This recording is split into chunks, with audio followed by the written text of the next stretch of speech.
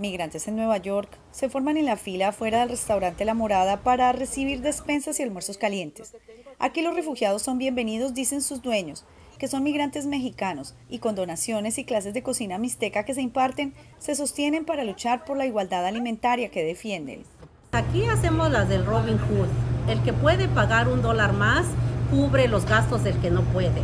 Entonces todo es para la comunidad y ellos entienden. Aproximadamente 500 comidas se preparan a diario en esta cocina. A veces este, las fuerzas se tienen que multiplicar como el búfalo y hay momentos, ¿verdad?, que está uno cansado como humanos.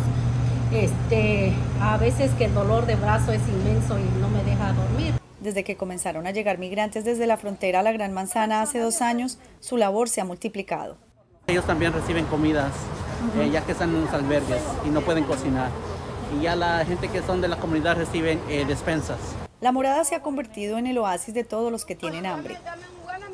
Somos cuatro y ayuda mucho, demasiado. Nos ayuda porque ahorita todo está caro. Eh, donde dan las cositas nosotros siempre vamos a recibir. Sí, nos ayuda un poco. Y como dice su dueña, para todos hay. Nunca nadie se va sin algo que comer. Siempre se llevan, aunque sea un pedazo de pan, eh, pero se lo llevan. La morada se estableció hace 15 años en el sur del Bronx y desde 2019 se encuentran sirviendo a la comunidad. Ángela González, Voz de América, Nueva York.